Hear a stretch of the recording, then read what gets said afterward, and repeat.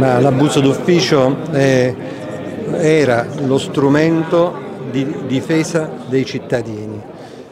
contro le violazioni, diciamo, le prevaricazioni, le angherie che di volta in volta può commettere il potere pubblico. Di fronte al potere pubblico da 200 anni eh, il cittadino ha come tutela penale l'abuso d'ufficio ecco dopo 200 anni viene eliminato perché non si riesce a capire se non nel senso che bisogna proteggere coloro che esercitano determinate attività e non il cittadino. Il cittadino più debole va abbandonato. Questo è molto grave, lo abbiamo ritenuto veramente un fatto devastante anche per la legalità, dire eh, che non esiste più la tutela penale, i principi di buona amministrazione e di imparzialità e consentire quindi che le regole possano essere violate senza che vi sia una sanzione penale nel momento in cui tale violazione è finalizzata a procurare a sé o ad altri un beneficio, un vantaggio patrimoniale, questo per noi è molto grave. Italia Viva non so se faccia parte realmente dell'opposizione perché l'ho vista spesso votare con la maggioranza, quindi dico che le opposizioni sono state compatte su questo. Vorrei sfatare il mito degli amministratori che hanno chiesto.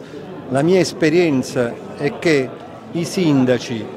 soprattutto quelli che operano nei territori di mafia, di indrangheta, di camorra,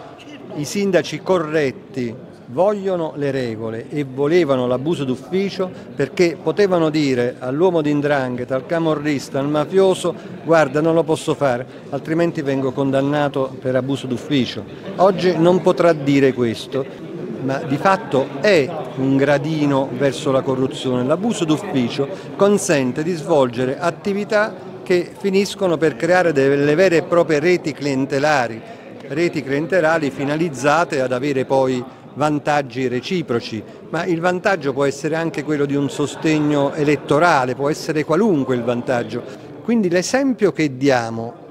alla, alla società è potete violare la legge, ecco, potete creare dei vantaggi, comunque il reato non c'è più. Ecco appunto nel contesto delle ecomafie, adesso che succede secondo lei? Ma in ogni caso in cui un amministratore pubblico conferisce un vantaggio attraverso un provvedimento o un atto viziato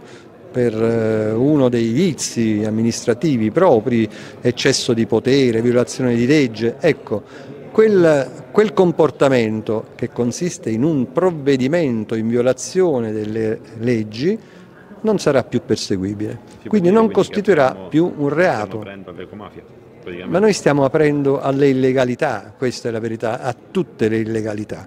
a quelle illegalità che si, una volta si perseguivano attraverso l'abuso d'ufficio.